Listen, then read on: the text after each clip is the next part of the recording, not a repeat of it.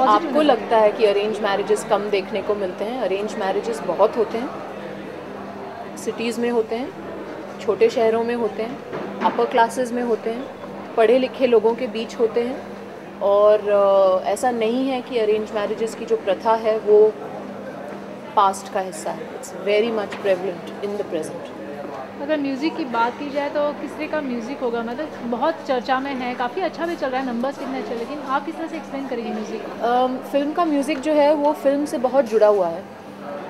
It's very festive और uh, बहुत सारे यूनिक सिचुएशंस हैं और जो गाना है वो बहुत सिचुएशन स्पेसिफिक है हर गाना जैसे राम मिलाए जोड़ी जो गाना है, उस, वो एक अरेंज मैरिज सिचुएशन पर है, जिस शादी में फ़रदीन और ऐशा जाते हैं एज दूल्हा और दुल्हन के फ्रेंड्स और वहाँ उनकी मुलाकात होती है और उसी शादी में उनकी शादी तय हो जाती है।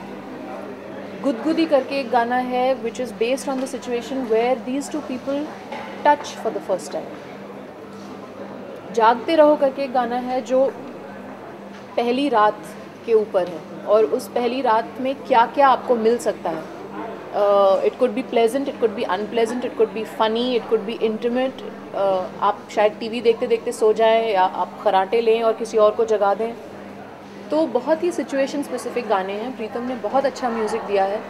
जिस तरह के म्यूज़िक के लिए वो जाने जाते हैं very very peppy modern music इस फ़िल्म में melody is very strong it has a very Indian feel to it और फिर भी इसमें प्रीतम का वो रॉक का स्टैम्प ज़रूर है।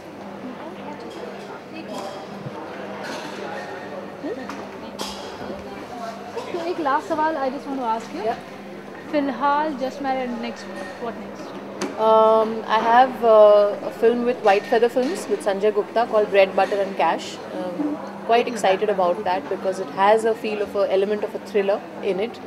Uh, very different from what I've been doing. So I'm looking forward to that.